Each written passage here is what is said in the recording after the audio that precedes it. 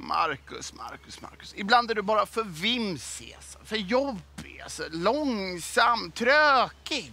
Men ibland, Marcus, är du strålande, underbar, fantastisk, fabulös.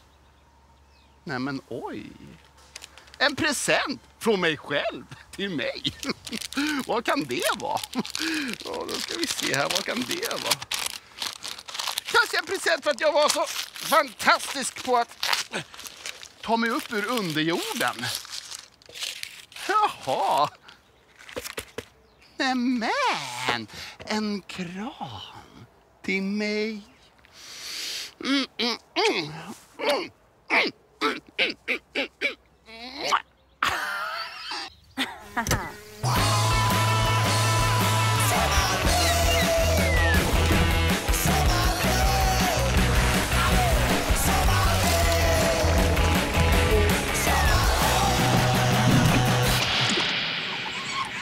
Dagens gäst är ingen mindre än äventyraren Aron Andersson och han kommer här!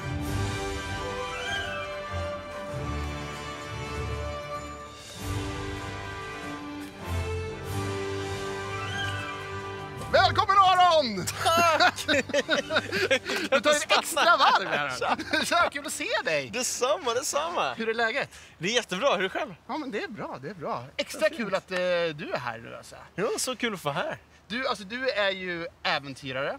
Du har bestigit Sveriges högsta berg, eh, Kebnekaise, Afrikas högsta, Kilimanjaro. Du har simmat långt vet jag också. Du gör massa olika äventyr. Ja.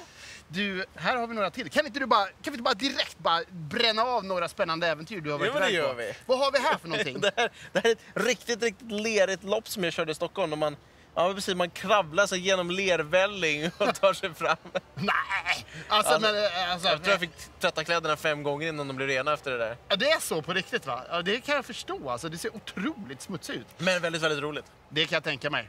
Här är det, ser det desto renare ut. Ja, där skidade vi till Sydpolen. Så där flygplanet har precis släppt av och så ska vi skida i 22 dagar efter det här. På riktigt, 22 dagar. Ja.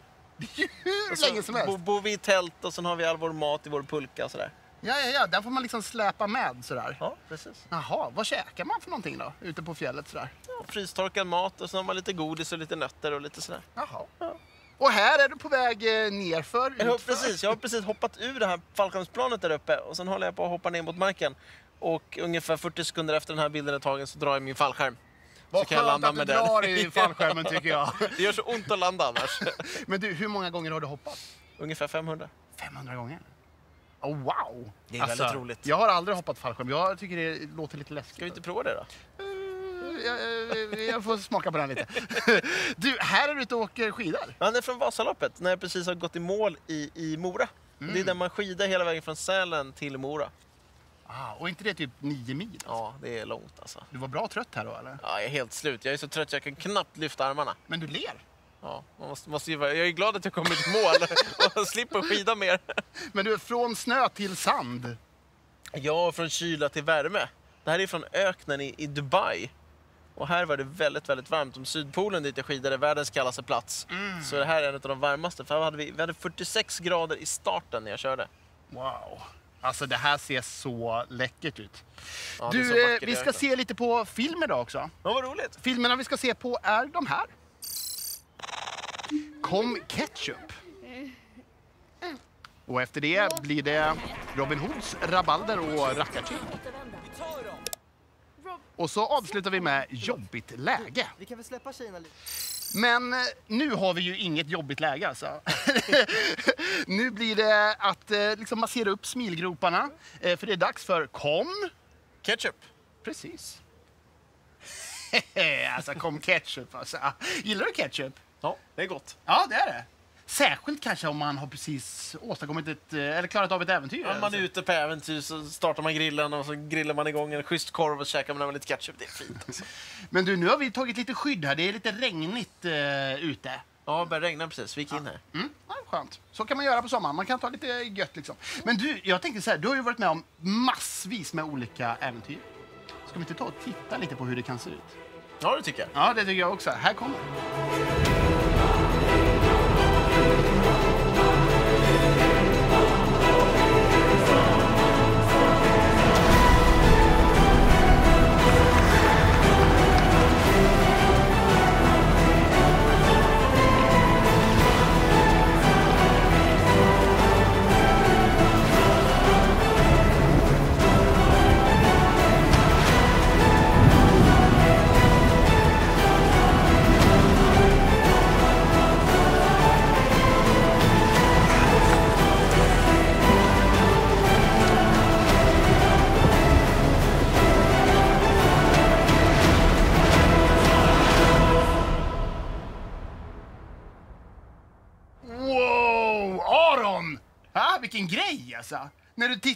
vad tänker du om dig själv egentligen? Ja, jag tänker att man har gjort en del roliga grejer. Ja, verkligen alltså. Alltså vilken grej alltså. Och helt otroligt. Och jag vet att jag har bilder på ett eh, rätt så eh, speciellt äventyr här, eller hur? Vad, berätta, vad är det här för äventyr? Var det tufft? Eh, Det här är när jag simmade från Sverige över till Finland. Eller till Åland egentligen. Som en liten ö som ligger mellan Finland, eller inte så liten egentligen, men en ö som ligger mellan Sverige och Finland. Så jag simmade dit, det tog ungefär 13 timmar och var 37 kilometer. 37 kilometer. 37 000 meter, kan det stämma? Ja, det stämmer. Wow! Alltså det, men alltså hur, hur tänker man när man ger sig ut på Hur kom du ens på det här äventyret? Ja, men det var några kompisar som skulle göra det där, så kunde jag inte de datumen och så tänkte jag, "Aj, jag kan väl också prova. och jag, jag var ju nybörjare på att simma så jag fick börja träna en väldigt massa för att klara av det där. Just det, för man behöver vara stark i armarna extra. Du är ju stark från början Ja, men, och så det är väl som med allt, så ska man klara någonting så måste man ju träna en hel massa. Mm. Så jag tränade och tränade och till slut så simmade jag över. Och här är du ute och, och, och simmar helt enkelt. Och så har du någonting på händerna här. Ja, precis. Jag har paddlar på händerna så att det, man ska få lite bättre tryck i, i vattnet. Så nu har jag våtdräkt på mig och badmössa. Men kan det inte vara läskigt att vara mitt ute på havet sådär och simma? Jo, det var lite läskigt. Jag låg där och simmade så kom det någon säl och lite så här. Då kände man sig lite... Uh, hoppas att den inte äter upp mig. Pratar du med sälen? Nej, det var lite svårt. Men jag har ju så svart våtdräkt på mig så den kanske trodde att jag var en säl också. Ja, just det. Ja, kanske det. Du, eh, här har vi en bild på, på dig när, när du är en liten grabb. Ja, precis. Ehm, och hur, hur kommer det sig att du har rullstol från, från början? Eh, Jag fick cancer nere i ländryggen när jag var sju år gammal. Och så fick jag ett år med cellgifter och strålning men till slut förstod man att det här funkar inte så vi måste operera. Så jag, man opererade bort den här cancertumören och med den operationen så blev man tvungen att skära av massa nerver till mina ben. Och sen där sitter jag i rullstol. Så du kan inte använda benen så bra, eller kan du använda dem lite grann? Jag kan använda dem lite men, men inte så mycket så. Så därför använder jag antingen rullstol eller kryckor eller något form av hjälpmedel. Så när man är sju år gammal och får det här eh, liksom, beskedet och får vara med om detta, hur, hur tänker man? Hur, blir man liksom, hur, hur lär man sig att gilla läget? Eller hur ska man säga? Ja, men det är väl det man får lära sig göra. Först var det ju väldigt tufft att inte kunna spela fotboll, inte kunna springa och göra alla de här sakerna som jag verkligen gillade att göra. Men någonstans så var var jag också väldigt glad att jag hade klarat det. Jag var fri från cancer, jag hade överlevt. För det är Mm. många som dör i cancer. Och då var man ju tvungen att gilla läget och tvungen att gilla rullstolen och tänka, okej, vad, kan, vad kan rullstolen ge mig för möjligheter istället? Vad kan jag faktiskt göra med rullstolen? Och, och jag kan göra det mesta idag med min rullstol, vilket är så fantastiskt. Mm.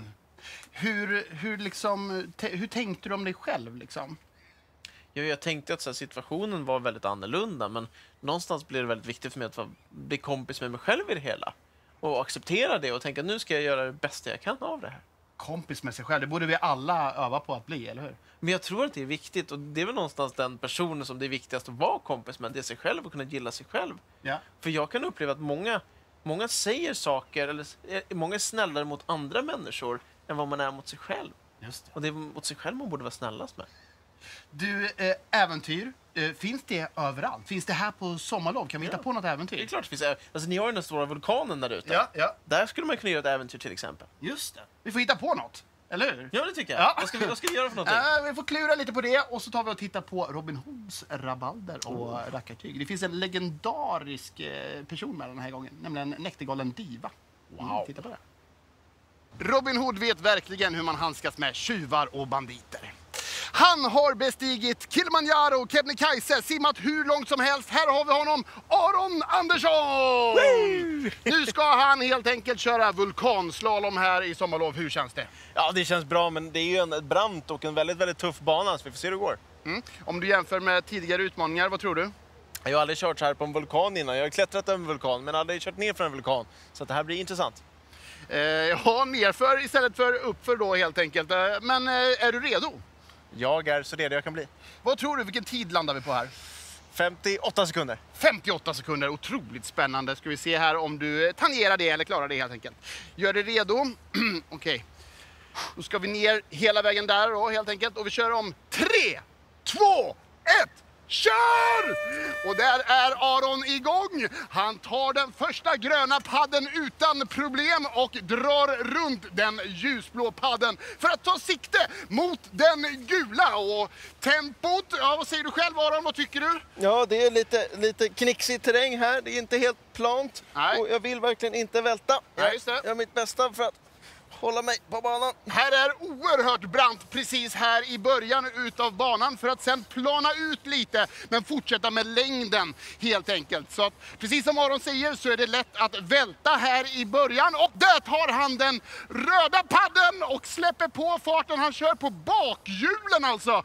En eh, teknik utan dess like för att sen dra ner här mot den gröna padden. Nu gäller det att inte vara i vägen och ta sikte mot den ljusblå. Hur går det än så länge Aron? Jo, det är klurigt att hålla balansen, men nu kan jag köra lite snabbare. Nu går du undan här runt den blå och mot den ljusrosa här och mot mål och där är vi i mål! Yes! Och det är upp här och han gör segerdansen på bakhjulen. 1.07 Aron. Ja, det var ju lite långsamt. Jag trodde jag skulle vara snabbare. Ja, fast jag är andfådd alltså. Åh, oh, nu mullrar det! Nu, upp, stå still! Nu har, vulkanen, nu har du startat vulkanen Aron! Ja, det var ju du som hittade på det här. Nej men det var ju jag som hittade på det här Aron! Ja, ja det var det ju! Stå still! Stå still! Sluta tjafsa! Stå still! Om vi rör oss nu så kan det bli utbrott i Får man prata sommarlovsvulkanen. lite eller hur? Ja, med små läpprörelser kan. Kommer vulkanen lugna sig nu? Nu är vi tysta, jag tror att det är enklast. Åh, nu är det över. Alltså du, Tänk om det hade blivit ett stort utbrott. på grund av dig. Jag, jag kommer hit och hänger med dig, så vad skyller du på mig? Nej, nej, nej förlåt. Eh, nu ska vi vara kompisar. Och apropå det, kompisarmbandet. Har, Ja, du, har du koll på snyggt. det? Ja, visst är det det? Nej, vad handlar det om? Nej men det är så här, i eh, sommarlov så har vi en kompisklubb. Eh, man tar på sig såna här gula armband. De kan vara gjorda utav vad som helst. Eh, men det ska vara gult. Mm. Okej. Jag har faktiskt fixat ett litet kompisarmband. Ja, dig. wow! Vill du ha? Jättegärna. Tada! Tack så mycket. Nu är du med i kompisklubben. Härligt. Och du har också bra tankar om det här med att vara kompis med, med sig själv och så. Ja, jag tänker att det är väldigt, väldigt viktigt. Ja. Det är väl den person som är viktigast att vara kompis med, det är ju sig själv. Faktiskt. Det är ju väldigt många som är med i kompisklubben. Eh, Jag tänkte vi skulle ta och eh, kolla på några här. Eh, Du kan ta de här. Tack så mycket. Här har vi ju... Vilka snygga brillor. Ja, det är lite så Angelica Pick-inspirerat tror jag. matchar. Ja, Emma, fem år, som är med i kompisklubben. Ni ser det gula armbandet där. Vad har du Aron då? Här har vi Levi och Nomi, de är fem och nio år gamla. Och här har vi Ebbe som är fem år som håller upp det gula kompisarmbandet. Och vad har vi hos dig? Här har vi Jamila, sju år gammal, som har på sig sitt snygga armband där också. Man, vad många är med i kompisklubben. Ja, Hur många ja. är det med egentligen? Ja, det är, alltså, jag skulle nog säga att det är tre miljarder människor som är med kanske. Bara tre miljarder? Men vi, vi, vi ökar hela tiden. Lovis är eh, åtta år och hon har också gjort en sån här namngrej. Listig, omtänksam, vänlig, ivrig och smart. Och där har hon kompisarmbandet. ja, det är jättefint ju. Ja, det är bra egenskaper om man vill vara en Verkligen. kompis. Här har vi Nils, åtta år, med sitt armband. Där har, ni är många som är med. Fortsätt gärna skicka in bilder på er och armbandet. Alltså, det krävs ju en hel del träning för att bli så här snabb som du är. Rob har blivit lite träningsgalen. Kolla här. Tänk att Rob låtsades ha en bruten fot. Hade det inte varit mycket enklare om man bara var ärlig? Eller vad säger du, eh, Aron? Ja, det är bra att vara ärlig. Ja, visst är det. Som kompis ska man väl Ja, vara jag det. tycker verkligen det. Man får skämta och busa ibland, men det är bra att vara ärlig också. Här på väggen har vi kompisklubben-tavlan. Här har liksom våra gäster kommit med bra så här, kompisregler för kompisklubben. Eh, här har vi bland annat då lyssna, man ska vara schysst, man ska peppa, man ska ställa upp. Vad säger du om de här orden? Jättebra tycker jag. Visst är de det? Ja. Vad har du eh, tänkt att bidra Vi med? pratade innan om att man skulle vara schysst mot sig själv och vara snäll mot sig själv. Så därför tänker jag att man ska vara kompis med sig själv helt enkelt. Så var kompis med dig själv, säger min lilla kompisregel. Och hur funkar det? Hur ska man tänka liksom? Men jag, jag tänker så här att, att det är lätt att säga saker till sig själv som man kanske inte hade sagt till sin kompis. Så var lite elak mot sig själv och trycka ner sig själv lite. Och kommer man på sig själv att man, gör det, så kan man så stanna upp och bara, nej men så där kan jag ju inte hålla på. Vad kan jag säga som är schysst till mig själv istället? Bra. Alltså, kan man öva på detta på något sätt? Eller? Ja, verkligen. Varje gång man kommer på sig själv säga någonting till sig själv som inte är så snällt. Stanna upp och byta mot något snällt istället. Och något peppande. Kanske liksom kan stå i spegeln och, och säga schyssta ord helt enkelt till sig själv. Ja, men varför inte? Stå. Du, nu har vi fått lite post också. Ska Ja, vi gå och kolla? kolla? Ja, det, det tycker jag vi gör. Eh, här borta har vi ju mängder alltså, med, eh, med brevlådor. Alltså. Ja, hur, hur gör brevbäraren när de väljer brevlåda? Ja, det är eh, lite oklart. Jag har inte sett det hända faktiskt. Men det, det bara dyker upp eh, liksom eh, sådär. Eh, ska vi se. Här gäller det då också att lista ut. Kanske... Var har de lagt det? Här har vi. Här har vi fått in lite såna här eh, eh, kompistips ifrån er eh, tittare. Du kan ju ta några stycken här. Eh, vill du ha dem? Det blir jättebra. Ska jag börja eller du? Nej, du får. Du får börja. Jag börjar. Ja. En bra kompis bjuder hela klassen på sitt födelsedagskalas så att ingen blir utanför. Skriver Miriam, 7 år. Ja. Det är en bra regel. Just det, det är en bra regel. Det är också. riktigt schysst. Här är från Freddy, 8 år. Han skriver så här. En bra kompis får en att skratta och bli glad igen när man är ledsen. Alltså att man peppar upp lite. Så. Ja, ja, ja. Man kan berätta ett skämt, man kanske kan använda en pruttkudde eller spela lite ding, ding, ding, ding, ukulele. ja. Pruttkudde när man spelar ukulele kanske? Just det. Roligt. Okej, vad har du mer? En bra kompis vill hitta på roliga saker att göra. Som att baka muffins och bada.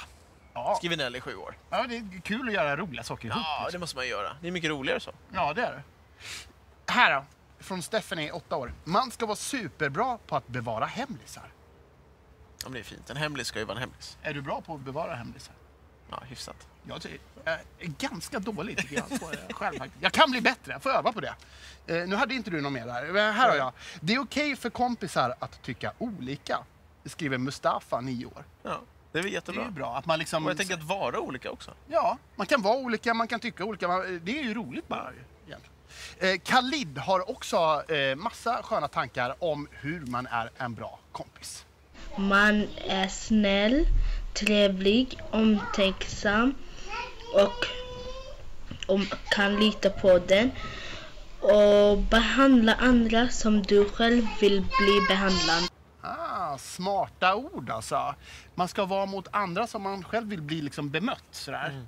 Man kanske kan också tänka att man skulle kunna vara mot andra så som den vill bli bemött. Alltså som att Ja, man liksom... man kan fråga lite så hur, hur vill du bli bemött? Ja, för det är inte så att alla vill som jag heller egentligen. Nej, så är det ju faktiskt. Du, det har varit så roligt att du har hängt med mig och alla oss här i, idag. Så kul att få hänga med alla er alla. Du- Alla er alla. Ja, jag börjar bli lite trött i slutet på programmet. Ja, ja nej, men det får man bli. Eh, vad blir nästa äventyr? F- får man haka på? Ja, men det är klart vi ska göra det. Vi ska upp till, till Mount Everest Base Camp. Ska du med dit va? Eh, Jag tror jag eh, har fullt i kalendern. Nu säger vi hej då. hej då!